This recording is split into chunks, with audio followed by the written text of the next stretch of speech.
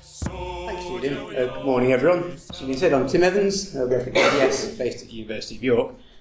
Um, going to very quickly introduce what we mean by grey literature for those unfamiliar, perhaps unfamiliar with that phrase, and then present some of, uh, case studies of archaeological publication and the role it plays in publication and the potential of grey literature in an open access approach. It is based on a mix of my own PhD research and my uh, ongoing work at the Archaeology Data Service, notably the OASIS project, which hopefully most of you are aware of, and the Roman Rural Settlements of Britain project.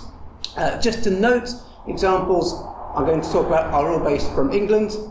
Um, that's not to exclude uh, Scotland and Wales and Northern Ireland, but legislation and practice in those countries differ slightly. So my focus today is very much on England.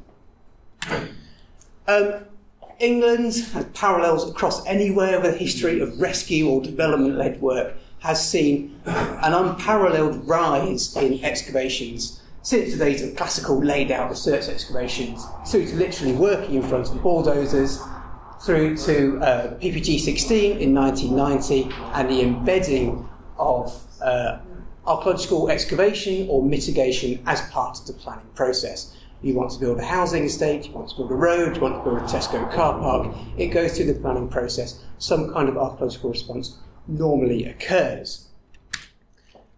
And indeed, just looking at statistics, what we may call intrusive investigation, watching briefs, evaluations, excavations.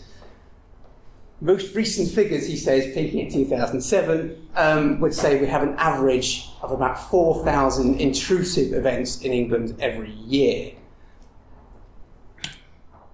Of course, going back, this has led to a publication crisis over the years. I'm sure all of you are familiar with these, both in England, the UK, and further abroad.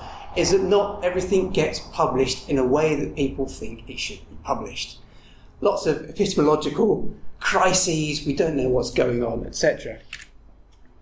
Um, this has also been reflected in the types of outputs that are being produced, um, moving away from our traditional uh, regional or county based journals, the bedrock of what has traditionally been considered our publication outputs, site based monographs, and introducing over here, rather unglamorously, what is sometimes referred to as grey literature. And so those reports produced by a unit or contracting organisation that goes to the client and the local authority and reports on what has been found. Uh, this has caused some trauma in English archaeology. Uh, most notably, I think most you will be familiar with the paper and work done by Richard Bradley and Tim Phillips from the University of Reading in the first decade of the 21st century, where Richard Bradley turned around and said, My teaching is out of date. I'm not getting access to all these great literature reports. I'm 20, 30 years out of date. How do I know what's going on in my field of late prehistory? This is a serious problem uh, Rumsfeldian unknown unknowns there. Is that how do we know exactly what's going on? Just to note, Richard Bradley's research has actually been archived with the ADS at that DOI uh, there. Thumbs up to him there. So again, is going into grey literature, it's a problem. It's a problem because traditionally it has been relatively inaccessible. These forms of uh, output have been paper based and located either at the unit or at the relative, uh, lo- um, the uh, appropriate local authority. So, for example, if I wanted to go down to Truro to look at grey literature from Cornwall, it would take me 10 hours to drive or a £300 train trip. So, not always appropriate or easy for me to get to. There has also been an opinion or perception of grey literature in archaeology as being poor quality. Um, that's quality in terms of academic content. Uh, there's no interpretation, there's no thought, it's just archaeology by rote, churning out tables that mean nothing and reports of context, but also poor quality in terms of basic content. I think Rich Bradley highlighted, in some cases, the lack of a simple plan to understand where it was and the nature of the archaeological resource excavated. It's worth just pausing on this slightly and actually stepping back to consider what grey literature actually means. Um, archaeology, at least in the UK sphere, actually stole the term grey literature from the information science and library community back in about 1995, 1996, as far as my uh, research goes to show.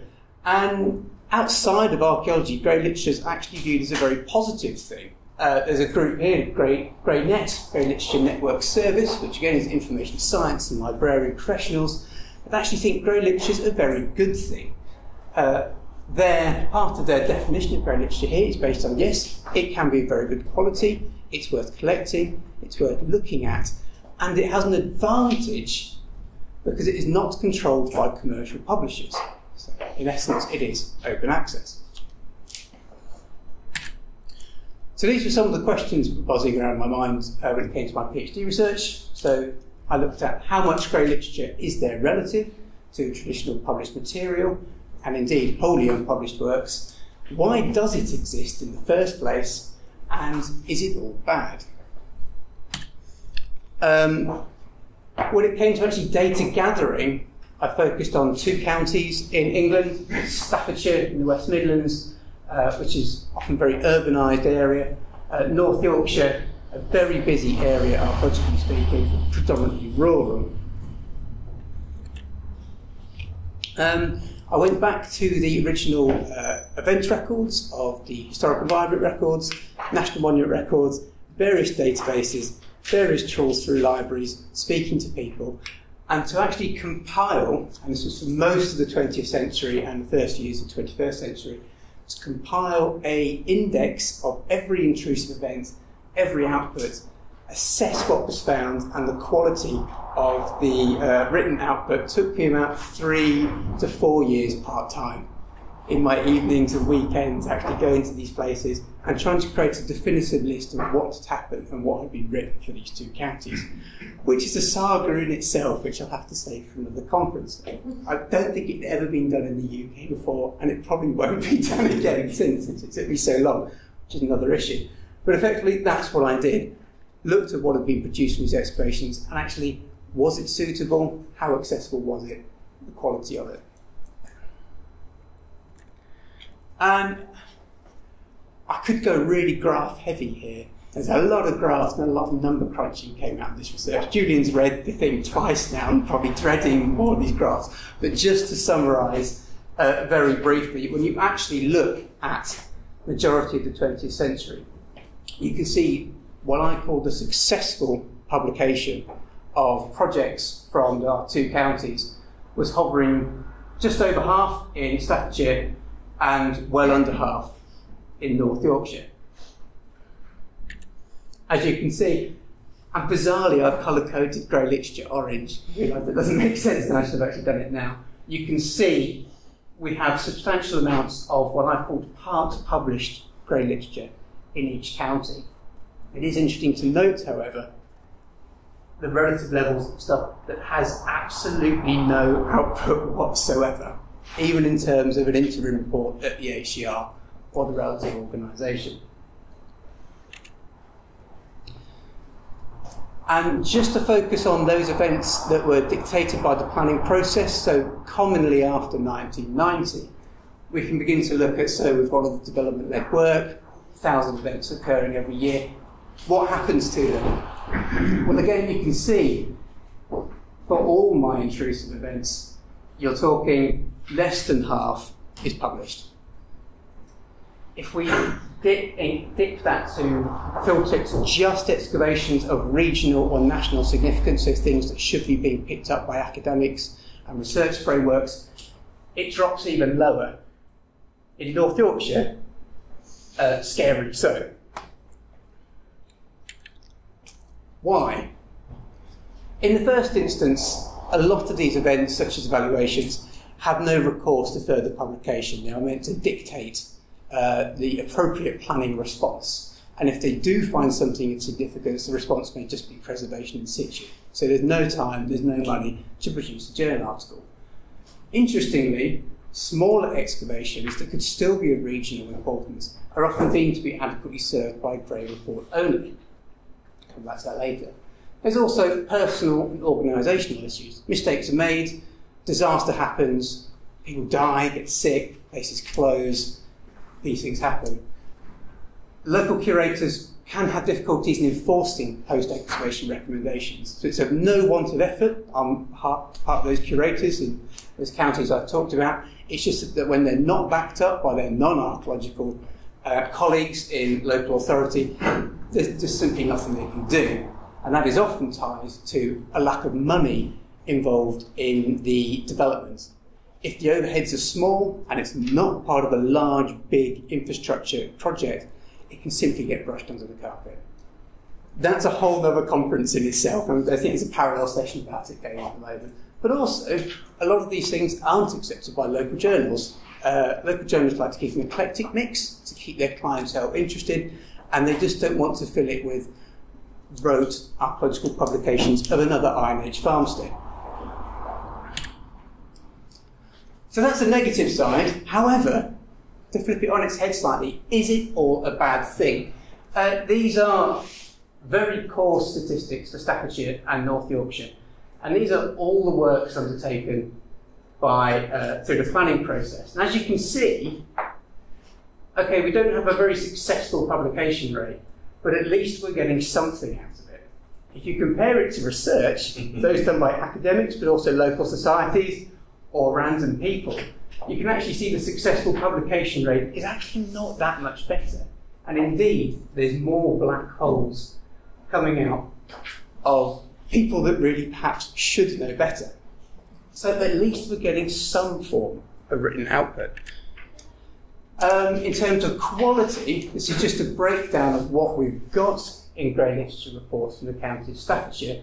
As time goes on, uh, the level of, if you can call it peer review, is getting better, but the actual content of these reports is more varied so while at the end of my period here, every report looked at at least has plans, section, photographs, decent finds reports, often by people based at universities, subcontracted out, and the location of the archive. So it's not all bad. Things are getting better. People are getting better at producing grey literature. Which at that point, I stood back and said, well, going on what I'd learned from those two counties, is it even possible to publish everything in that traditional journal or monograph uh, format? No. With the best will in the world, as things stand, it's just not possible. So, in the first instance, should we refine what it is to be published, perhaps? Perhaps look at innovative methods of publication, wider synthesis, and as part of that, an increased and pragmatic emphasis on grey literature, including perhaps ditching that term with its negative connotations which is where open access comes in. Um, this is the ADS library, soon to be redeveloped in autumn of this year, uh, which currently has almost 40,000 credits reports from England, Scotland, and Wales within. Most of these reports derive from the OASIS system. For those of you not familiar with OASIS, it's an online form for the recording of your events and the uploading of your so-called grey literature to the form, and then it is released into the ADS library where it's publicly accessible. It's, we started releasing reports from OASIS into the library in 2008. This is just England, my stats. We're currently at 25,000 reports from England, and it's growing at an average of 3 to 5,000 reports every year. It varies year on year, but it's working. People are using it. And I think this is uh, what we spoke at the very first people are using it. This is what I wanted to focus on lastly. This is a current research project the ADS are working on, the Roman Rural Settlements of the Britain project, um, led by Mike Fulford at the University of Reading, but with Cotswold Archaeology, with the majority of its funding coming from the Leverhulme Trust. They've kind of picked up the baton from Richard Bradley and are looking at all the outputs from uh, excavations relating to rural Roman settlement in England and Wales and putting it all together into a beautiful synthesis. The data is currently on, there is a DOI there. Please do look at it when the slides are uploaded, or you can find it on the ADS website. First phase is live, second phase of data will be live in December of this year. Um, so a very quick turnaround, which is another good uh, advent of uh, open access data. from this project, they found three and a half thousand records from England pertinent to their research. Should note going back to the 1800s. They found 1,600 records with Grey literature sources, and of these, 1,300 records were only documented via Grey literature, so had no traditional published output whatsoever. And this represented just under 1,500 reports. Now, of these 1,500 reports, this number here were online and open access via the ADS, 22%, which I think is actually a good thing. Me out here. Here is a breakdown of the date of the Grey Literature reports used by Mike Fulford's project. As you can see, they actually go back pre 1990. And this is the date of the reports used and found by the project released by Oasis. As you can see, the closer we get to the present day, the closer the red line matches the black line. In essence, the academics are finding these reports online, free to access, not having to travel down to Truro and pay £300 for train, uh, and feeding into a pretty fantastic academic synthesis project. In short, the system's beginning to work. There is a virtuous circle in place. And this is something I thought when I was listening to you talk about earlier was these type of meta-analyses, I think, are the things we should be shouting more of. So when people say, why am I using the form to upload this report? What is the point of it? I don't like uploading a form. You can actually point to a project like this and say, it actually does have a benefit. It's feeding into a wider synthesis on knowledge of the landscape, which itself feeds back to the curatorial body and those working out in the field. It works. There are issues. Adobe Poster has to be a slight negative. This is the coverage of Oasis in terms of records. It certainly has a heartland. It was piloted in East Anglia back in the early 2000s, and this was reflected in the types of output uh, picked up by Mike's project, as in everything produced in Suffolk or Norfolk was going online and it was being found. Areas outside that core zone, less was going online. Um, I think that is something that the ADS and partners are addressing. Uh, Oasis is currently being uh, rebuilt and remodeled as part of the Herald project, of which there's a URL to the blog there where my colleagues are rebuilding the system. A talk, uh, a reporting on why people aren't using Oasis and how to get people working in those areas there using Oasis and making it work for them so that hopefully in 10 or 20 years' time, when another big research project rolls along, the whole map will be purple. Final thoughts. Um, just to finish on a pragmatic approach. Um, literature can be a good thing. It has to be a good thing. Just to recap that, based on my uh, extensive research, we can't publish everything in a journal. So we're going to have to rely on grey literature for certain classes of works, and indeed focus on making grey literature better in terms of quality. and finally, it is just the tip of the iceberg. Um, these are just PDF reports online, he says, just are. Um, what about the data behind the reports? Um, how much more useful would it to have the original site plan in a vector format rather than just a flat image in a PDF file? So we're going to be going back out to these people that are already using the Oasis system and saying, you've done great work so far, this is working let's look at getting the rest of the archive online as well for truly open access data. Thank you very much for listening.